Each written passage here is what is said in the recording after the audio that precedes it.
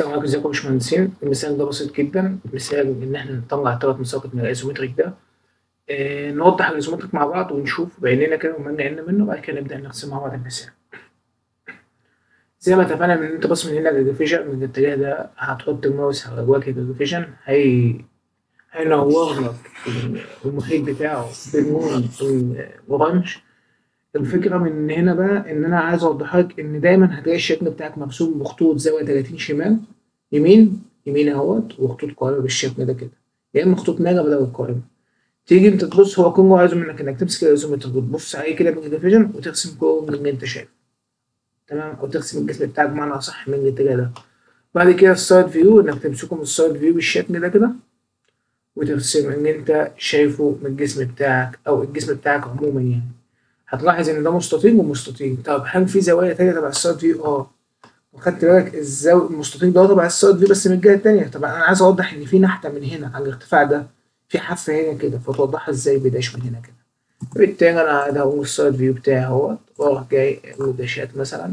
فهتلاحظ إن هو الزاوية دي عملها dash هنا كده. يقول لك ان في زاوية على الارتفاع ده خلي بالك من ورا.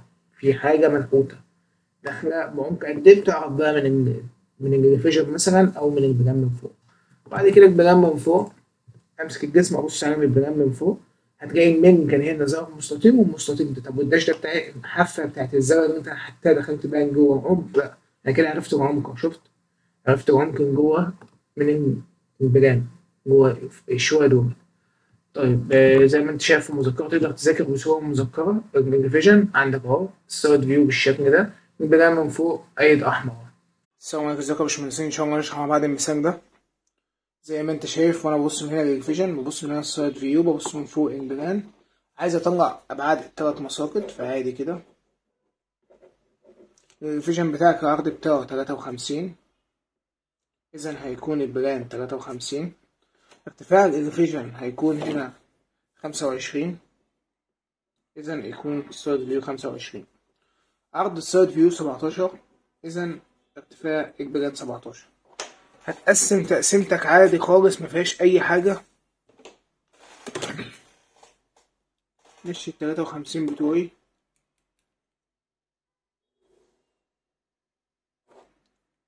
بعد كده هسيب واحد سنتي وبعد كده همشي سبعتاشر.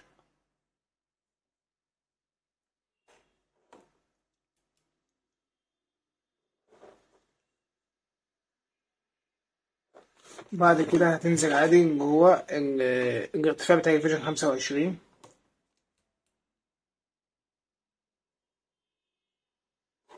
خط طويل كده. بعد كده تبقى خمسة وعشرين المسافة دي مثلا. سيب واحد سنتي. كده سبعتاشر. تمام. انت عندك الشكل هنا عبارة عن إيه؟ أنا هخش تلاتة وأربعين اخش مثلا وليكن تلاتة وأربعين. بعد كده اطلع فوق عشرة. بعد كده اطلع لحد بره هنا كده. بالتالي امسح المربع الزيادة ده كده. بعد كده اطلع هنا ارجع كده في عندك ميل الميل ده جايب إيه؟ بيقول لك جايب زاوية خمسة وأربعين من هنا كده. بس اطلع ارتفاع سبعة. أنا كنا أنا هعمله هطلع ارتفاع سبعة عادي خالص أهو. بعد كده بالمثلث بتاعي ده بالشكل ده كده واتاكد إن هو مستقيم من هنا كده. وأجي أعمل زاوية خمسة وأربعين بالشكل ده كده. وبعد كده أبدأ أمسح الزيادة اللي هنا كده. تمام؟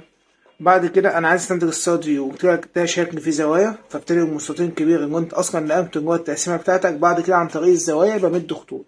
وأنت باصص من هنا عشان بستنتج السايد فيو أدي أول زاوية وعندك تاني زاوية فوق أهي وتالت زاوية هنا أهي. وعندك في زاوية موجودة هنا أهي. تمام؟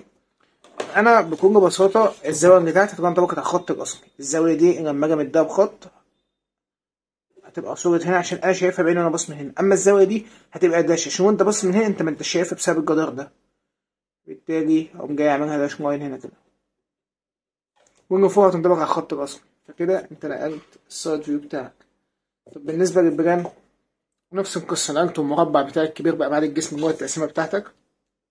وأنا بص من فوق ادور زاوية أدي تالت زاوية أدي تالت زاوية أدي رابع زاوية.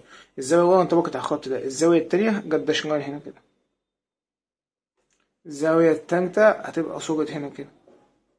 الزاوية دي بخط هنا كده. وده البلان بتاعك اهو. تبدأ تمسح دي وامسح دي وامسح دي وكده انت خلصت الجسم بتاعك.